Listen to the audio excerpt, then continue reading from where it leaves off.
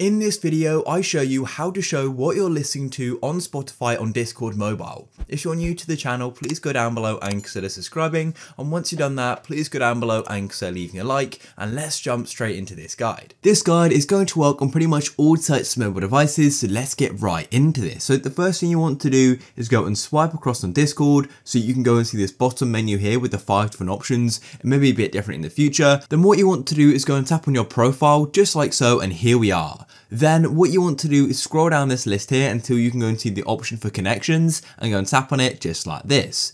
Then as you can see, you can actually go and connect your accounts to unlock Discord integrations. I haven't got any at the moment, but you may already have some. But what you want to do is go and tap on add in the top right, just like so. Then scroll down until you can go and see Spotify. As you can see, here it is. So go and tap on that just like so.